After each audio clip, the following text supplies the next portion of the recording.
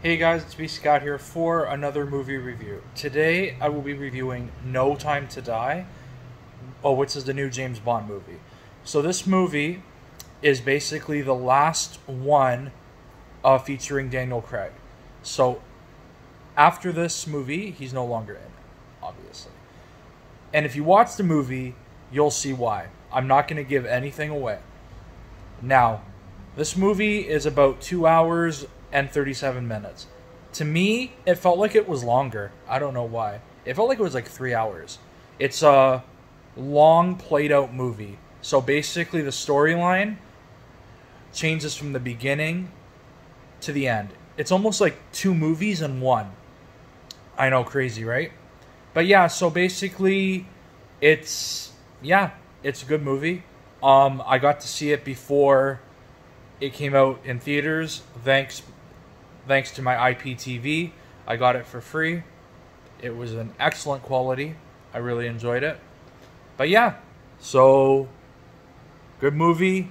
Um, I do like Daniel Craig as James Bond. I know like a lot of people people don't like him.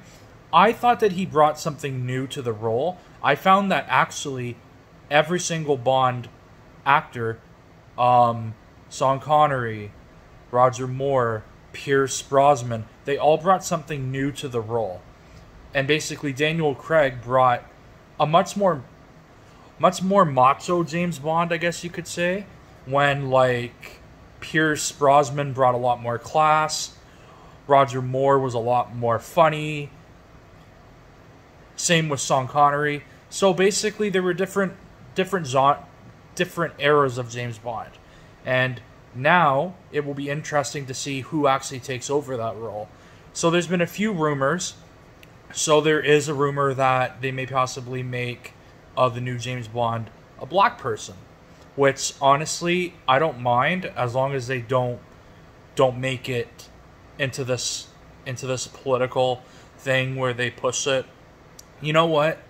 If the guy's talented, let him play James Bond. But yeah, so let's see what happens with that.